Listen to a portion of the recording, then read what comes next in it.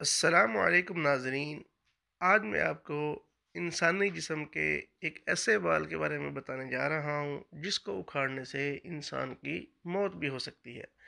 तो इस बारे में मज़ीद जानने के लिए हमारी वीडियो को एंड तक देखिए, ताकि आपको पता चल सके कि इंसानी जिसम के अंदर ऐसा कौन सा बाल मौजूद है, जिसको उखाड़ने से मौत हो सकती है।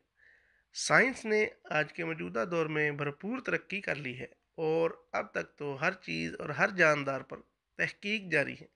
वहीं एक तहकीक इंसानी जिसम के उस ख़ास बाल पर की गई है कि अगर उसे जड़ से उखड़ा जाए तो मौत भी हो सकती है। वो ख़ास बाल नाक के अंदर होते हैं, जिन्हें अक्सर अफराद चिमटी की मदद से खींचते हैं ताकि वो नाक के बाहर नज़र ना आए। हम ज़्यादातर नाक के ज़रिए सांस लेते हैं और इस दौरान हम जितनी भी हवा सांस के ज़रिए अंदर लेते हैं, हमारी नाक इसको साफ़ करती है। नाक के अंदर मौजूद बाल इस हवा को साफ़ करने के लिए पहले फ़िल्टर का काम करते हैं। हमने अमूमन देखा है कि लोग नाक के बालों को एक चिमटी के ज़रिए उखाड़ते हैं। ये तरीका आपके लिए बहुत ख़तरनाक साबित हो सकता है। यहाँ तक कि इंसान मौत के मुँह में जा सकता है। जब हम नाक के बालों को चिमटी की मदद से उखाड़ते हैं तो ये जिल से अलग हो जाते हैं, जिससे एक सुराख बन जाता है और इस सुराख में बैक्टीरिया चले जाते हैं।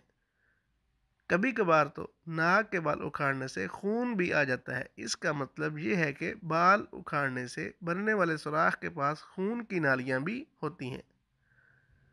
बैक्टीरिया इन खून की नसों के ज़रिए बाकी जिसम में फैल जाते हैं और इन्फेक्शन करते हैं। बिलखसूस नाक के बालों को उखाड़ने से बनने वाले सुराखों के ज़रिए जिसमें सराइत करने वाले ये जरासीम और बैक्टीरिया दिमाग की जल्दी के वरम और दिमाग के ट्यूमर का बायस बनते हैं। आप अपने बालों को बिल्कुल भी नाक से बाहर ना बढ़ने दें, लेकिन इसके लिए इन्हें चिमटी से उखाड़ने की बजाय कैंची से काटें। और सिर्फ़ इतना ही काटें कि ये नाक से बाहर नज़र ना आए। ताकि आप अच्छे तरीके से हवा फ़िल्टर करके अपने अंदर ले जा सकें। मैं उम्मीद करता हूँ आपको आज की वीडियो पसंद आई होगी। मिलते हैं अगली वीडियो के साथ। अल्लाह हाफिज़।